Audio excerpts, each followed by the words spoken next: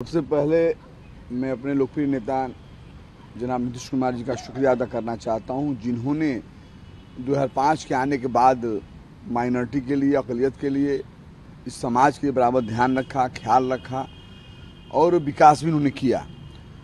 2005 के बाद में देखा होगा कि इंडिया के साथ रहकर ही उन्होंने कब्रिस्तान की घेराबंदी पहली बार लगभग आठ हज़ार से ऊपर उन्होंने कराया। उनके साथ रहते हुए भी निर्देशित के अधिकारियों का स्वीकृत कराएँ, हर ज़िले के अंदर आवासीय विद्यालय बनेगा। और उसके साथ साथ हर ज़िले में वक्फ बोर्ड की ज़मीन हो तो बहुउद्देशीय भवन बनेगा। साथ साथ में एक एक हॉस्टल दो दो हॉस्टल, यानी बच्चे के अलग बच्चों के लिए अलग बनेगा पूरे जिला में। और मदरसा को लेकर चिंतित रहे उससे पहले मदरसा में क्या था, आप भी जानते हैं, मैं भी जानता हूँ। मदरसा का, उनके आने के बाद मदरसा को शुद्धिकरण की व्यवस्था उन्होंने कराया। जो आधुनिक ज़माने में जो होना चाहिए लाइब्रेरी उसमें कंप्यूटर सारी सिस्टम के साथ साथ टीचरों का ध्यान में रखा। जो आप जानते हैं कि साठ हज़ार लगभग उनका तनख्वाह उन्होंने किया। इन सब चीज़ों को लेकर हमारे नेता चिंतित रहते हैं बराबर। मदरसा को लेकर बताना चाहता हूँ, जो मदरसा एक शिक्षण संस्था है जहाँ से बच्चे निकलते हैं।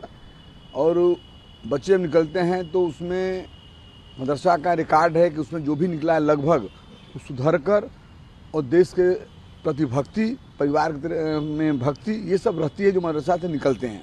बहुत सारे ऐसे भी हैं उलमा अच्छे उलमा निकले हैं जो मदरसा से निकले हैं देश के लड़ाई में कुर्बानियाँ दी हैं। तमाम चीज़ें तो उसको हमारे नेता ने ध्यान रखा। आदरणीय नीतीश कुमार जी ने जनाब नीतीश कुमार जी इस बात को ध्यान रख के मदरसा के लिए हर जगह हम लोग अ, हर ज़िले के अंदर जितनी भी मदरसाएँ लगभग पहले थी उस मदरसा को रजिस्टर्ड कराकर उनकी सारी व्यवस्थाएँ जो आधुनिक होना चाहिए सारी व्यवस्था हम लोग कर रहे हैं। वक्फ की जो ज़मीनें होती हैं, आप भी जानते हैं, वो दानी ज़मीन होती है, जो हमारे पूर्वज या हमारे जो लोग थे, बुज़ुर्ग लोग थे, जो यहाँ से गए तो वो लोग एक तरह से दान दिए, वक्फ किए। तो गरीबों के लिए, बेसहारों के लिए, उनके विकास के लिए उस बात को मैं नेता नीतीश कुमार जी ने समझा। और आपको जानकारी होगा पता भी कर सकते हैं, आप मीडिया के मेरे भाई हैं, आपको सब जानकारी मुझसे ज़्यादा ही होगी। आप कहीं भी पता कर सकते हैं, किसी जिला में कहीं ना कहीं वफ़ की ज़मीन हमारे नेता ने उस पर काम कराया ही है, कराने के लिए आज भी सोचे हैं, निर्देशित हम सबको करते रहते हैं। अब देख लीजिए आवासीय विद्यालय वक्फ की ज़मीन पर बन रहा है। हॉस्टल दो दो हॉस्टल वक्फ ज़मीन बन रहा है। बहुद्देशीय भवन, जो बहुद्देशीय भवन इसलिए बन रहा है जिसमें कि कॉम्प्लेक्स टाइप का होता है, उसमें हर तरह से मार्केटिंग भी हो सकती है, उसमें विवाह मंडप भी हो सकता है, उसमें सारे मीटिंग भी हो सकती है। ये सब चीज़ें एक विकास की ओर, अल्पसंख्यक समाज के लिए विकास की ओर हमारे नेता नीतीश कुमार ने ध्यान रखे हैं और काम करते रहे हैं। और उम्मीद है पूरा भरोसा है कि नीतीश कुमार जी ऐसे नेता हैं।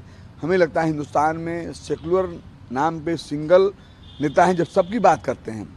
ऐसा नहीं कि एक ही जमात की जात की बात करते हो, हर जमात, हर जात की बात करते हैं, जात की राजनीति नहीं, वो जमात की राजनीति करते हैं, सबको लेकर चलने की बात करते हैं, जो संविधान में है। जो बाबा साहब डॉक्टर बी आर अंबेडकर ने संविधान दिया है, उस मुताबिक बिहार के साथ देश को चलाना चाहते हैं। आज देख रहे हैं, देश के अंदर भी वो मौजूद हैं और देश को भी चाहते हैं शांति साथ साथ विकास हो।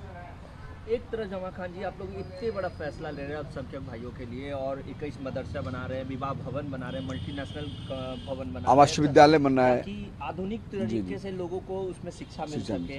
लेकिन आपके जो विरोधी है राष्ट्रीय जनता दल वो तो आप पे ही आरोप लगा रहे हैं कि नीतीश कुमार खुद को सेकुलर पार्टी बताते हैं उनकी पार्टी सेकुलर है लेकिन जब वक्त में बिल में संशोधन हुआ उस समय तो वो चुप्पी साध गए। मैं तो यही कहूँगा बहुत ज़्यादा उनकी आलोचना नहीं करना चाहता चूँकि इस बिहार की जनता ने उनको भी, उनके परिवार को भी मौका दिया था। मैं इतना कहना चाहूँगा, उनसे जो लोग बात बोल रहे हैं आलोचना नहीं करना चाहता आलोचना करना भी अपने बेइज्जती समझता हूँ चूँकि मैं जानता हूँ नीतीश कुमार जी के विकास के नाम पर, सौहार्द भाईचारा के नाम पर कोई भी नहीं है बिहार के अंदर जो कि हम उनकी आलोचना करें। कहीं लड़ाई में होता, कहीं आगे पीछे होता, यहाँ कोई मतलब ही इनका नहीं है। लेकिन जो आपने कहा है, बताना चाहता हूँ, उनको भी याद आना चाहिए। युवा रहे होंगे और बच्चे रहे होंगे जो माता पिता इस बिहार को संभाल रहे थे, ठग रहे थे, इस बिहार को बर्बाद कर रहे थे, बिहार के सौहार्द को बिगाड़ रहे थे, बिहार का विकास को ध्यान नहीं था उनका, उनसे भी सवाल करना चाहिए। मेरे नेता पर क्या सवाल करेंगे? जो मेरा नेता कोरा कागज़ है, कहीं दाग अगर बता देगा, मैं बराबर कहता हूँ, मैं छात्र राजनीति का सफ़र तय किया हूँ। मैं कहता हूँ कि राजनीति छोड़ दूँगा। एक आदमी हम पार्टी के हैं, वो बात नहीं मैं करता। आम जनमानस में आप जाइए, कोई एक शब्द कह देगा, मैं राजनीति छोड़ दूँगा कि आज नीतीश कुमार जी, कहीं कोई दाग हो। नीतीश कुमार जी का सोच, बिहार का विकास, बिहार के अंदर सौहार्द बना रहे, भाईचारा बना रहे, हर समाज का विकास हो और सौहार्द के साथ साथ विकास हो, इस पर नीतीश कुमार जी ने ध्यान दिया है। आदरणीय नीतीश कुमार जी इतने बड़े लोकप्रिय नेता हैं, जिसको चाहते हाथ रखते कहाँ से कहाँ चला जाता, लेकिन ऐसे सेकुलर हमारे नेता ईमानदार नेता, जिस नेता ने पूरे बिहार को अपना भाई, अपना समाज, अपना परिवार, अपना दम ये मानकर पूरे बिहार के आवाम को, हर जाति को लेकर चले और पूरे बिहार के परिवार, पूरे बिहार के समाज को अपना परिवार समझकर उसको आगे बढ़ाए। मैं ये कहना चाहता हूँ, जो ये लोग बोल रहा है, उनके अंदर कितने छेद हैं, मैं बताना नहीं चाहता। तो सब जानता है बार बार बताना कोई अच्छी बात नहीं है। हम लोग आलोचक नहीं, आलोचना नहीं करना चाहते। और दाग अगर लगाना चाहेंगे, आप अपने सगे भाई पर लगा सकते हैं। अगर दाग लगाना चाहेंगे तो अपने पिताजी पर लगा सकते हैं।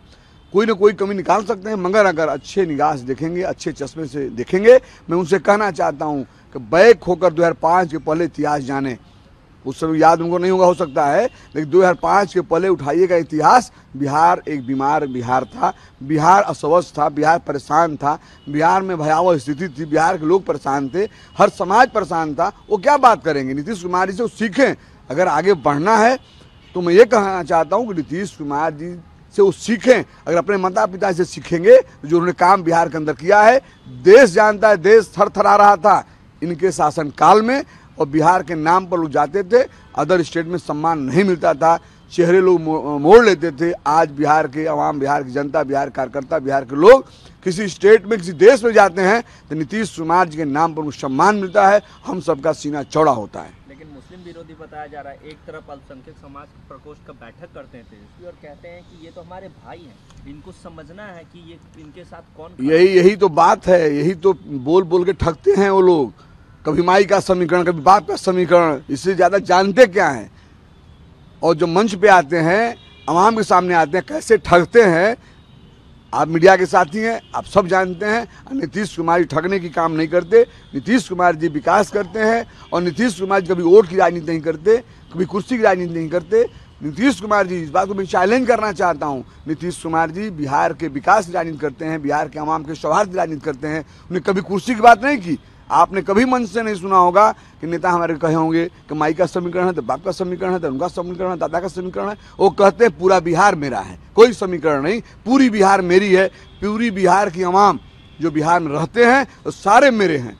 वोट की राजनीति कभी नहीं किए हैं। कौन वोट देता है, कौन नहीं देता है, सब उनका विकास होता है। और जो लोग चिल्ला रहे हैं, जो कह रहे हैं, उनके पार्टी का काम नहीं होता है। जिस क्षेत्र में विकास नेता ने किया है, उनके पार्टी के लोग वहाँ नहीं रहते हैं। लेकिन मेरे नेता ने सबका काम किया है, सबका विकास किया। मैं इस बात को चैलेंज करना चाहता हूँ कि हमारे बिहार के अंदर न रोड तो नहीं था, सब जानता है। बिजली नहीं थी, शिक्षा की कोई व्यवस्था नहीं थी, सौहार्द भाईचारा नहीं था, दंगे होते थे। वो लोग क्या बात करेंगे? आपको याद होगा, भागलपुर का दंगा जो आज माई का समीकरण देकर ठगने का काम कर रहे हैं, जो आज अल्पसंख्यक प्रकोष्ठ का मीटिंग करके ठगने का काम कर रहे हैं, मैं उनसे पूछना चाहता हूँ, दरभंगा, भागलपुर सॉरी दरभंगा नहीं, भागलपुर के अंदर जो दंगे हुए, उसका आपने कभी बात किया? उसका मुआवजा कौन दिया जो मरे थे, जो नुकसान हुआ था? जो गड़बड़ किया था, उसका सजा कौन दिया? आप ठगने का काम करते हो, आप लुभावना बातें करते हो और उसमें कहीं भावना में लोग बह जाते हैं। मैं इस बात को कहना चाहता हूँ कि उस, कौन नेता है, कौन अच्छे काम करने वाले हैं, कौन सौहार्द के साथ बिहार की विकास करेगा, उसको लोग पहचाने, ऐसे ठग से दूर रहें। ये लोग ठगारे लोग हैं, बिहार को लूटने वाले लोग हैं। एक प्राइवेट कंपनी बनाया है, इससे बड़ा क्या हो सकता है भाई? पूरी माँ माता जी पिताजी, भाई, बहन, किसके लिए? बिहार को लूटने के लिए। वो क्या बात करेंगे? जो नेता सिंगल, जनाब नीतीश कुमार जी, जो बिहार के तमाम अमाम को अपना परिवार मान कर विकास करते हैं उनका कोई दांच करेगा? इन मदरसों में कितनी राशि लगेगी? क्योंकि इक्कीस मदरसे बनाने की बात हो रही है तो ओवरऑल कितनी राशि देखिए जगह जगह से जो स्वीकृत किया जाता है जो आकलन बनती है जो वहाँ का जिसे प्रोसेस जाता है आगे जिस हिसाब से मदरसा बड़ा है छोटा है कहीं दो करोड़ है कहीं चार करोड़ है कि पाँच करोड़ है कि एक करोड़ है कि दस करोड़ भी लग सकता है ऐसे होके वो बनता है। न्यूज़ नेशन अब व्हाट्सएप पर। खबरों के ताज़ा अपडेट के लिए न्यूज़ नेशन के इस क्यूआर कोड को स्कैन करें।